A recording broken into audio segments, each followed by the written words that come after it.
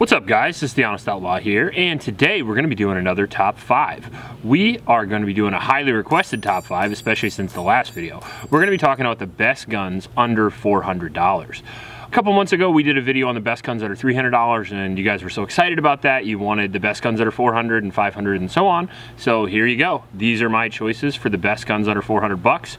The only real thing they have to do to qualify is be awesome and be under 400 bucks. They have to be reliable, accurate, good ergonomics overall, shoot well, be quick, be available, have good accessories, pretty much everything that a great gun is required. And they have to do all that for under $400. All these guns on the table were purchased for under $400 but the current political climate that we are in in 2021, prices may vary based on your location. So remember that. I'm currently in Iowa. Uh, prices are not going to be in the same as they would be in New York, California, etc. So that being said, let's get into it with number five here. One of my personal favorites, the Beretta APX Centurion.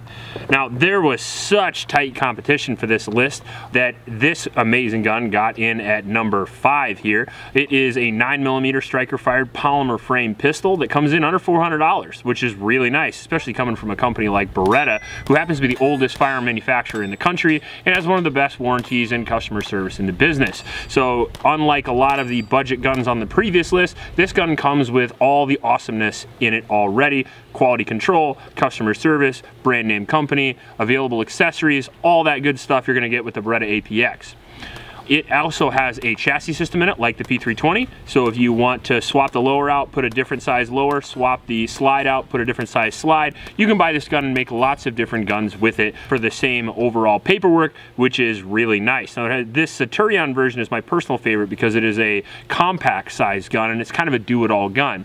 And for a lot of these guns on this list here, they have to do everything. Like if I'm gonna pick a handgun for the best uh, guns under $400, it has to be able to be concealed, it has to be able able to be shot quickly at distance and be comfortable and also be able to defend your home and any other philosophy of use you might want a handgun.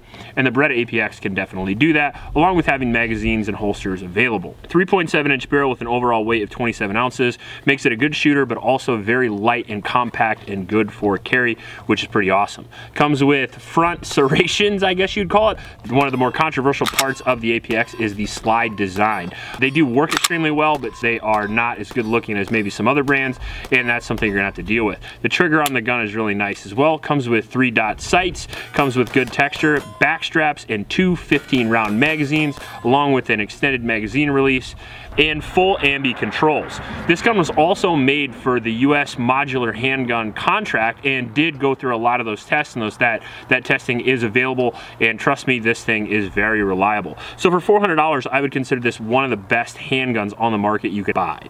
As I said it's capable of shooting out to 50 yards, capable of shooting quick and close and overall just makes you feel all warm and fuzzy. In at number four, we have the Extar EP9. Now, if you're familiar with my channel, you're probably familiar with the Extar EP9, but if you're not, I'll go through it with you right now. The Extar EP9 is a nine millimeter pistol caliber carbine that takes Glock magazines, which is pretty nice. Has a 6.5 overall inch barrel, giving that little bit more velocity and hitting power than a standard handgun, but still using relatively easy to uh, find and afford ammunition and magazines, well, easier than 223 or something like that. The gun takes AR trigger groups and controls, along with having AR controls, making it very ergonomic. Has a side charging handle, comes with a quad rail, but I put an M-LOK rail on there. And it capable of accepting the braces, comes with a brace right out of the factory. It also has a B5's uh, more vertical grip and a Picatinny rail on top for mounting optics, accessories, and whatnot. So the Extar EP9 is one of the most reliable 9mm carbines we've had on the channel, and considering that it's completely made of polymer and under $400, that makes it actually a pretty incredible gun overall. Awesome that it's under $400, awesome that it has good ergonomics, but the really cool part about it, in my opinion, is it's 3.8 pounds. I mean, I kid you not. As configured, this thing is a little over four pounds, making it one of the lightest shoulder-fired weapons that you can get. But as far as the Extar goes, there is a lot of value in this gun. Now, is there a little higher chance of a quality control issue maybe with this than there would be with like a CMMG Banshee or an MP5? Absolutely. But the reality is you can buy 10 of these for the price of one of those generally, well, an MP5 at least. So that's one thing you have to remember with this with the Extar EP9 is you're getting a ton of value. If you're looking looking for a gun that can accept the same magazines and ammunition as your pistol, uh, pistol caliber carbines are a great way to go. Number one, you can shoot steel up close. Number two, they're easily suppressed and very quiet when they are. Uh, number three, they're great indoors, especially for noise particularly shooting indoors. You shoot a 5.56 with a six inch barrel indoors, it's gonna be unbelievably loud, blow the windows out of your house, never see your cat again loud. This won't be so bad, especially suppressed, you'll barely even notice it. 9 millimeter with uh, 147 grain or 165 grain is pretty close to movie quiet. So that's, that's pretty nice with the Extar EP9. The other thing about it is, is that it doesn't penetrate through nine layers of drywall after it goes through the intended target. If you use hollow points in a nine millimeter carbine, uh, you're not gonna get as much over penetration as you might get with some other calibers. So overall, it's cheap, it's effective, it's lightweight, it's easy to use, easy to accessorize, under $400, and it doesn't look too bad either. In at number three, we have one of the greatest concealed carry guns ever made by a man. This is the M&P Shield. This actually is the M&P Shield Plus with the extended magazines, but for under $400, you can't afford this. But you can afford the M&P Shield, the original single stack version of this gun. Uh, the gun is a polymer frame striker fired pistol with a pretty good trigger, I might add, 18 ounce overall weight and a three inch barrel, and it comes with one seven round mag and one eight round mag, uh, which still more than enough capacity to get any job done that you really need and it's small, it's light, but most of all, it's reliable. The M&P Shield is one of my favorite concealed carry guns even to this day because they're just dead bomb-proof reliable, they're durable, and they're pretty accurate and fast as well. They're a hair heavier than some of the other guns in their class with a little bit bigger grip, so they allow you to just rip those shots like a full-size gun while still maintaining that very, very light and slim overall profile that allows you to carry it all day. The M&P has a special place in my heart because it really kicked off the uh, single stack concealed carry market in my personal opinion. In the same way that the uh, Glock 19 kind of lit off the concealed carry market in the United States in the 80s and 90s, a couple of decades ago or a decade ago when this came out, it also kind of instituted all of the single stack subcompact 9mm pistols that you see predominantly today in concealed carry. So it's kind of a door breaker and for that reason I like it a lot, but it doesn't slack in performance by any means. It keeps up or exceeds with all of its other counterparts in its particular category. The reason why it's at number three and not at number one is because it just doesn't fill as many uses overall, in my personal opinion, as maybe a couple of guns that are a little bit higher on this list. That being said, you could absolutely defend your home with it, you could absolutely carry it all day, and it could certainly be your go-to pistol as long as you don't plan on winning any USPSA matches anytime soon with it. But other than that, it's a phenomenal gun, it's lightweight, it's easy to use, it's stupid reliable, and you can trust your life with it, and for that reason, it's at number three. In at number two here, we have one of the greatest, if not the greatest, shotgun ever made in the history of the world. Now, it might be a little big, but uh, it's certainly the best shotgun for the money, and it rivals another gun, which we are just gonna mention at the same time. I found with this channel over the course of the last few years that you cannot mention the Mossberg 500 or 590 series without mentioning the 870, or people will come to your house with pitchforks and torches and picket signs. No, I'm just kidding. But for real, they're both amazing guns. However, I do prefer the Mossberg a little bit just because of modern day manufacturing. Remington used to be my favorite. I love Remington 870. It's the first shotgun I ever bought with my own money. I've had three different versions of the 870. I absolutely love it, but the reality is if you buy a new one today, you're not gonna get the same quality as you would a new Mossberg. So we're gonna go with Mossberg. Plus I have this Mossberg Shockwave and I thought it looked cool in film, so here we are.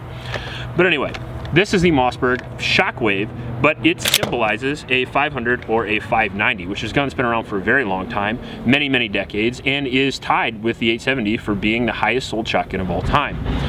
Uh, really, there isn't much that separates the 870 to the Mossberg, in my personal opinion, other than the dual rails there.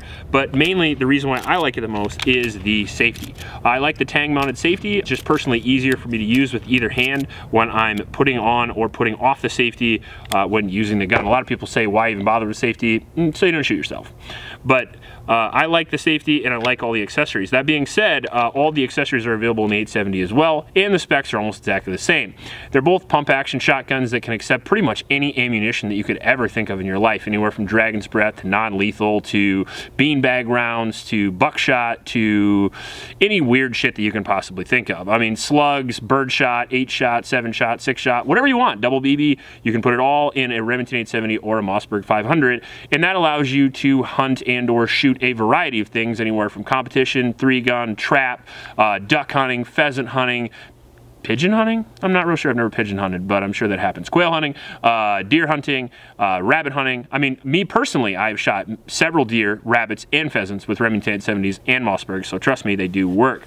And the nice thing about that is there's such a modular system. They don't just take a whole bunch of different types of ammo. They take a whole bunch of different types of barrel lengths and barrel types. So with the Mossberg 500 or the 870, you can get anywhere from I I assume the lowest you can probably buy is 14, but you can probably get one lower than that. Anywhere from a 14 inch barrel all the way up to easily a 26 inch barrel. And you could either get a slug barrel, you get a rifle barrel, or a rifled slug barrel, sorry. Uh, you get a breeching barrel, you could get a long bird barrel, or you could get a short home defense barrel that is just smoothbore meant for buckshot. You can get different pumps, you can get different light mounts, you can get the cool little grip here, you can get the chainsaw grip if you're into that, you can put a sword on the end of it if you want to, you could use shotgun cards, you could use these cool Mesa tactical ones, you could uh, bevel out the loading port, and you can add optics as well. What I'm trying to say is if you want a gun that can do everything other than concealed carry, a shotgun's a pretty damn good way to go. On top of that, they're available in a bunch of different calibers, including 410, uh, 28 gauge, 20 gauge, 12 gauge, and so on. Anything you pretty much want want it for, an 870 or a Mossberg can do. And if it can't do it right now, you can buy some shit on eBay and put it on there and make it do it. So overall, it is probably the most modular system as far as uses that you can get. So of course, it has to be on the list of the best guns under $400. It doesn't hurt that they're extremely reliable, extremely available, and overall very accurate and rugged. So Mossberg 500 gets my pick, but if you like the 870, I'm not gonna I'm not gonna fight you about it. I like them too. I own several. All right, now before we get into the honorable mentions, I do want to mention my Patreon supporters. It's because of my Patreon supporters that you get to see all these videos and all their wondrous hillbilly glory.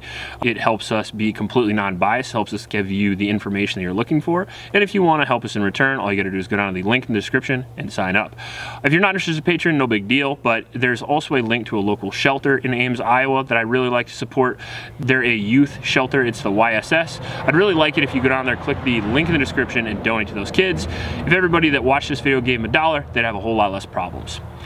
All right, now we're gonna get into the honorable mentions. And since I'm cold, there's only gonna be one, and that will be the Ruger Predator rifle. Uh, one of the best bolt action rifles that I've ever had in my life, and it came in at around $375 when I bought it. Uh, those rifles are available in many different calibers from 223 all the way up to, uh, well, at least 6.5 Creedmoor, because that's what mine was in.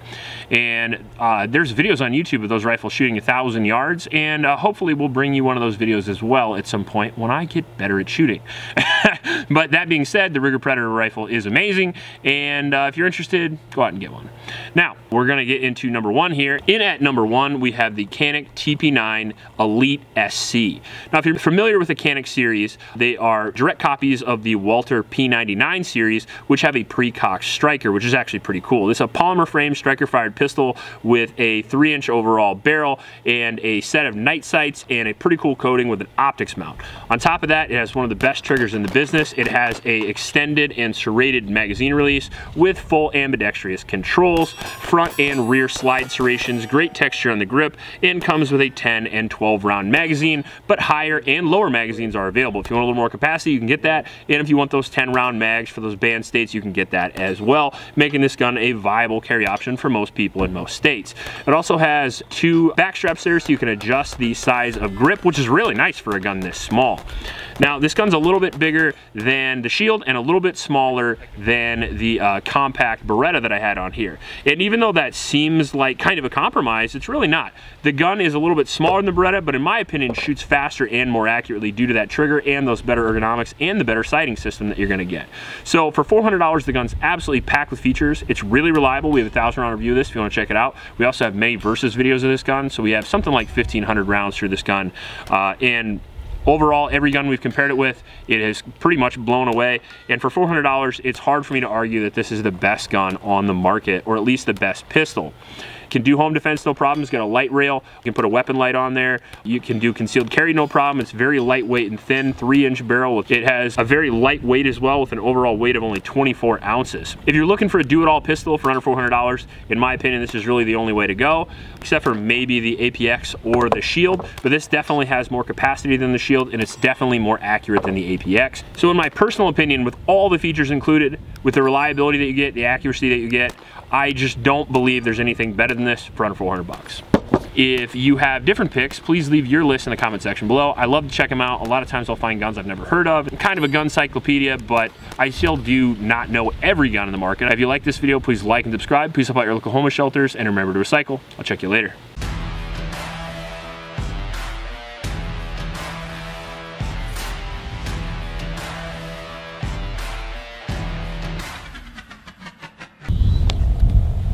The lube done sabotaged you? It's not the first time.